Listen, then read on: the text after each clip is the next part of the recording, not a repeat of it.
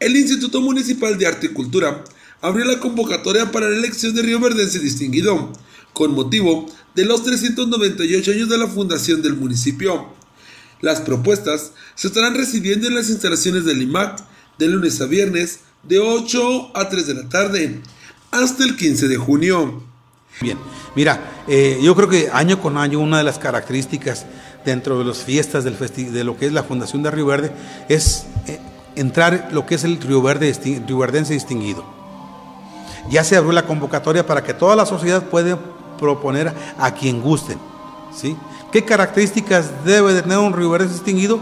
Pues que sea altruista, que sea cooperativo, sobre todo que tenga esa, esa, esa vocación de servicio a su pueblo.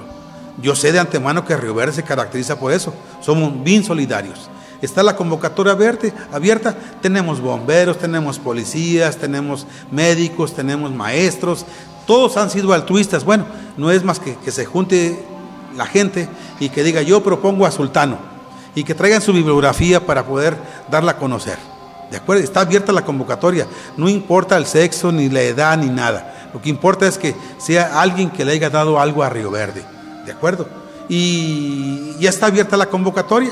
Eduardo Hernández Molinar, titular del IMAC, mencionó que las propuestas serán revisadas por una comisión de regidores por el secretario del ayuntamiento y la directora de educación municipal. Quienes vamos a evaluar este tipo de proyectos, pues está un regidor, por ejemplo, que es el de cultura, un regidor de educación, está el director de cultura, está la directora de educación, está el secretario del ayuntamiento. Bueno, nos vamos a juntar para designar quién es el rioverdense distinguido.